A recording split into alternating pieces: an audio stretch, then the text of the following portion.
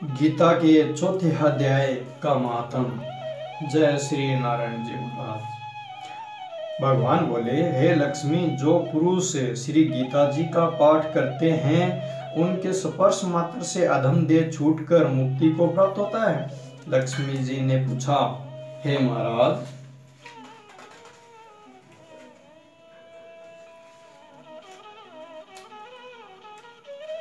हे महाराज श्री गीता जी के पाठ करने वाले को छूकर कोई भी जीव मुक्त हुआ है?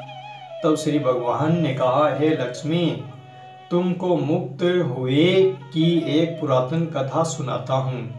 भागीरथी गंगा जी के तट पर एक काशीपुरी नगर है।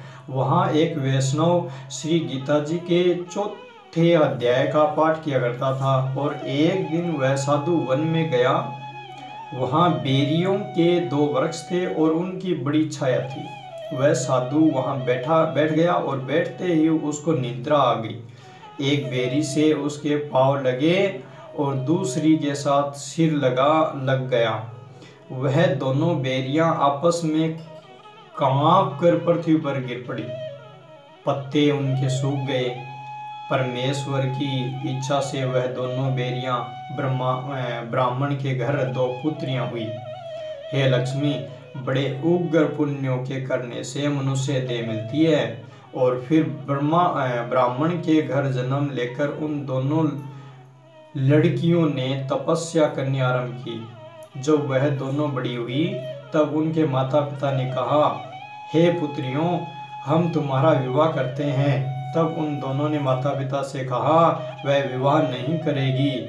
उनको अपने पिछले जन्म की खबर थी। वह जाति में सुंदर जन्मी थी और उन्होंने कहा, एक हमारे मन में कामना है, परमेश्वर वह पूर्ण करे, तब बहुत भली बात है। तो उनके मन में यही था कि वह साधु, जिसके संवर्ष करने से हमारी अदम दे छूट कर यह दे मिली है, वह मिले तब बहुत भला इतना विचार कर दोनों लड़कियों ने माता पिता से तीर्थ यात्रा करने की आज्ञा मांगी। तब माता पिता ने तीर्थ यात्रा करने की आज्ञा दी। तब उन दोनों कन्याओं ने माता पिता की चरण वंदना करके गमन किया। तीर्थ यात्रा करती करती वे बनारस पहुँची और वहाँ जाकर देखा गया, तपस्वी बैठा है, जिसकी कृपा से हम बेरी की देह से छुटी हैं।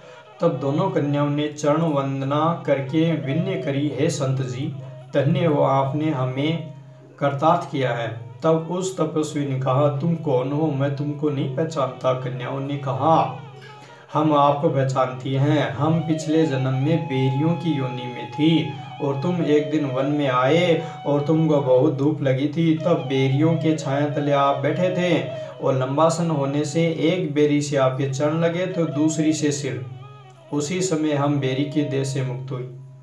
तुम्हारी कृपा से हमारी गति हुई और श्री गीता जी के चौथे अध्याय का ऐसा मातम है, तब वह मन, वचन, कर्म से नित्य प्रति पाठ करने लगा।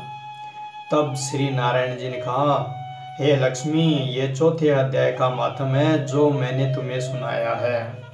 जय श्री नारायण जी महाराज, गीता के चौथे अध्याय का मातम समाप्त।